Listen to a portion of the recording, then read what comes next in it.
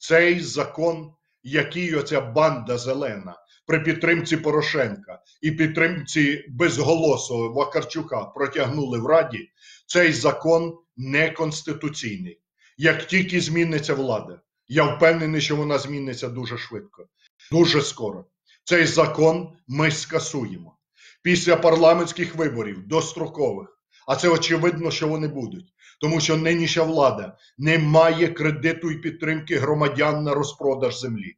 І хай для всіх тих адептів зелених нарешті відкриються очі, кого вони обрали. Сьогодні річниця президентських виборів. Учорашнє голосування в парламенті за розпродаж землі це наслідок нашого з вами, не мого, а нашого української нації вибору, який вона зробила, на жаль, 31 березня минулого року.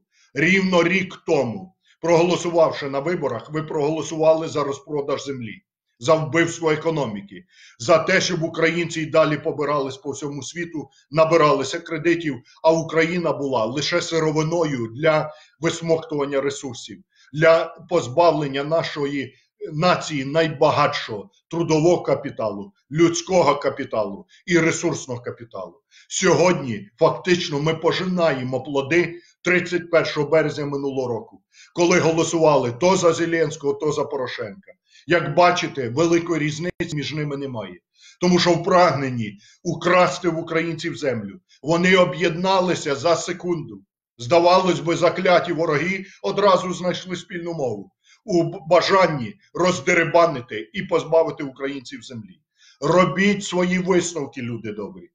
Після дострокових парламентських виборів, куди я впевнений, ми в парламенті обов'язково будемо і переможемо. Перше, що я зроблю, і наша команда, ми скасуємо цей закон про розпродаж української землі.